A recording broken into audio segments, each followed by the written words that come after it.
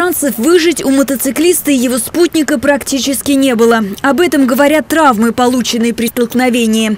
Врачи скорой помощи, приехавшие на место аварии, констатировали мгновенную смерть.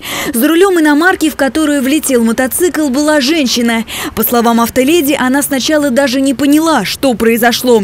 А когда водитель вышла из машины, помогать было уже некому. Я их вообще не видела. Я разворачивалась с противоположной стороны, они ехали на бешеной скорости. Оттуда свидетелей очень много.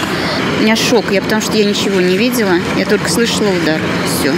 Слова женщины подтверждают и очевидцы ДТП. По их мнению, в аварии виноват молодой человек, управлявший байком. По предварительным данным, в пятницу днем мотоциклист на приличной скорости ехал по улице Родионова в сторону площади Синой. Навстречу ему двигался внедорожник, который на перекрестке начал поворачивать. Горел уже зеленый свет для пешеходов, и вдруг на, ну, на скорости по 200 примерно вылетает байк. Вот в результате данного ДТП водитель э, мотоцикла, предварительно это молодой человек 1992 года рождения, и его пассажир 1965 года рождения, мужчина, погибли на место происшествия. В настоящее время проводится доследственная проверка, решается вопрос о возбуждении уголовного дела. А к месту ДТП начали подъезжать другие байкеры.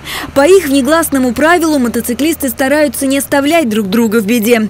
Правда, в этот раз они уже ничем не могли помочь своим единомышленникам.